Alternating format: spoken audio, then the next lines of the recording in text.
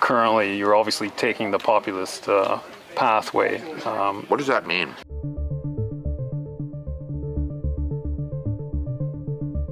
How do you like them apples? Pierre Poilievre, conservative leader, pushing back against a journalist with odd and shoddy questions. Hi, I'm Brian Lilley, political columnist for the Toronto Sun. I've been saying for decades now that most of the media in this country lean left. I can say that because I've worked right across the country in print newsrooms, radio newsrooms, TV newsrooms, and most people in this business lean to the left. You're more likely to find a a journalist willing to vote NDP than conservative. Now, if we're supposed to match the population, you know that there are far more conservative voters than you Democrats, but not among journalists, which is why there's often this weird perception of how conservatives actually are, which is what showed up when Pierre Poilievre was being asked questions by a journalist in a field off in the Okanagan. It's all very picturesque, but the questions, this guy hasn't even listened to Poilievre before deciding he's going to do a gotcha moment.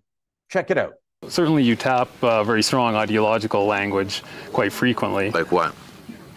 Uh, left wing, you know, this and that, right wing. You know, I mean, it's that that type I of almost never ideological talk about. I never really talk about left But or right. anyways, a lot I of don't people. really believe in that. So after Poilievre deals with that, the guy not really knowing what he's all about, he turns around and more than once says, You're taking a page out of Donald Trump's book. A lot of people would, would say that you're simply taking a page out of the Donald Trump uh, book. like which people would say that? Well, I'm sure a great many Canadians, but Like who? I don't know who. But Well, you're the one um, who asked the question, so yeah. how- you must know somebody. What are you Also- talking about? What page? What page? Can you give me a page? Give me the page. I've known Pierre Poilievre for a long time. I've been covering him close to 20 years. He lived down the street from me for a while. This man is not Donald Trump or anything close to it. And if that's what you think, you need to start doing your homework before going to do an interview. But I'll tell you this across the country, Poilievre is going to see pushback like that from journalists who don't know what they're talking about, but definitely want to make a name or a mark for themselves, want to take the conservative leader down.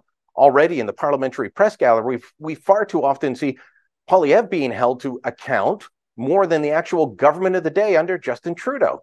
And this is only going to get worse as Poilievre and the Conservatives rise in the polls. Well, what do I say?